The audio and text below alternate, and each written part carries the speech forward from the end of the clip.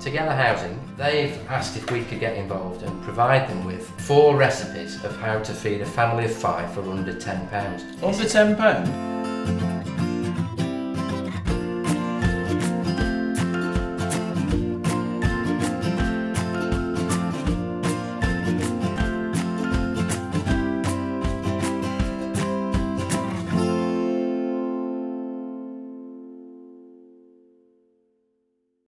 Okay, we're, we're, we're going to do haddock fish cakes um, and we're going to do those on some crushed peas, posh word, crushed peas. We've got mashed potato, a little bit of butter, we've got some chives, some peas, got a little bit of sour cream, flour, and we've got our important, important ingredient is our haddock. So I've just popped the haddock into a little into a little drop of water and then I'm just going to put some salt. Basically, we just need to cook that for a couple of minutes. We can get our peas here and pop them into the pan because we just need to warm those up. Can you use frozen peas? Yeah, they're frozen peas. They're the good old garden peas. I mean, really, you know, there's not many things or many ingredients that you could say, you know, are as good as fresh, but frozen peas are as good as it gets from a, a frozen vegetable point of view. Okay, so we've just put a little knob of butter in there. And again, we'll pop the lid on there. Okay, so we're just going to warm those. And then we're going to mix those with a little bit of sour cream. Now I can see, you can see the fish is cooking there. And again, we just want to lightly cook that. For any reason for haddock in particular? Well, it's a really cheap, sustainable fish. And, a, and a, such an underrated fish. It's a great product. And we often, you know, cod's, cod's fine. Um, but haddock, I think, is, is, you know is a really, really lovely fish. And that's all you need. It's a matter of a minute there, yeah? Okay. And then I'm just going I'm just going to leave that for a minute to rest. And then all we're going to, going to do with that is just take it out and just flake it, okay? But I'm conscious of making sure that um, we don't have our fish cakes too wet because we're not going to breadcrumb these. This is how my mum used to cook. And, and the rough ingredients are two of potato to one of fish. Okay, so that's that's your gauge. Okay, so we've got our mashed potato here. We'll pop that into there. And I just want to break that break that up to make sure that we can work the fish in. I don't want to pulp the fish because I don't want it to be a mush. I want I want that you I want you to taste the flakes of fish when you're eating the fish cake. So while that fish is just cooling down, if you want to be a bit fancy, you can go into your garden and you can get a few chives out. Okay. And we're going we're going to cut our chives. Uh, Do you you rock the blade against your nails on yep. your hand? Yep. You've got your. This is what we call the cradle. Okay. In professional cookery terms, this second finger is your gauge.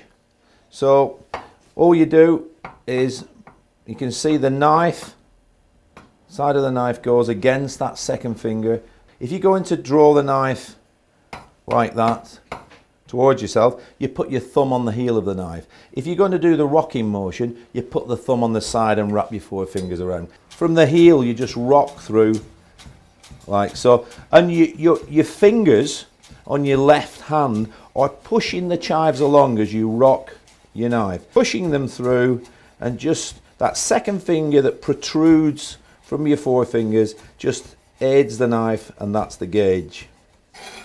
You pop the fish onto J cloth obviously you can see, allowing your fish to drain and take the skin off. It's easier to take the skin off after. Okay, and then likewise with the other piece. Now watch out for, for bones, if you've got a few bones you can feel them and again it's easier to take your bones off when your fish is cooked because remember you're going to flake the fish here. So don't worry about the bones beforehand. You can just check and if you've got any bones there, check for them. And I'm just going to mix carefully the fish into the fish cake. I just want to form that into a little fish cake. And I've actually got a little cutter here, but you don't need to have a cutter. You just do your couple of fish cakes. And I've got a few bits just left over. So waste not, want not. We don't want to waste anything. So just bob them onto the top of that. I'm just going to add a little bit of salt on top there. Like so. Get them ready to go into the flour. And Remember, if you put a little knob of butter in um, into your frying pan, it, it it will burn. You've got to be careful. Okay, so you can clarify butter, but I've put some some oil in there, and then put my fish cakes in. We need to cook those a minute, minute and a half each side, and then we're we're ready to go. When you're cooking at home for yourself, Yes. um, how far do you go with the presentation?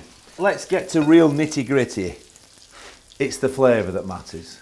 You know, when you're at home, it's all about the flavours. You know, actually, at work, it's all about the flavours. You know, we are we are very very obsessed with presentation, but the flavours are the most important thing. So all I want is a nice golden brown, not burnt, a nice golden brown colour. Um, and I think we're going nicely along there. I'm not going to turn them over just yet. So allow them to cook a little bit more.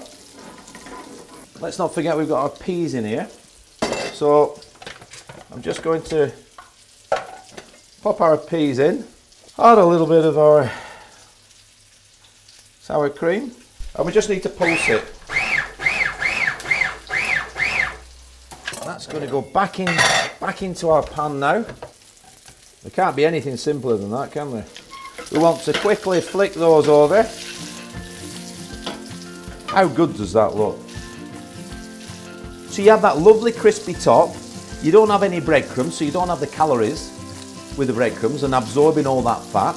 So they're lovely and crispy. Okay, just going to pop them onto our peas. Peas and fish, marriage made in heaven. It works. You can't buy that, Nick.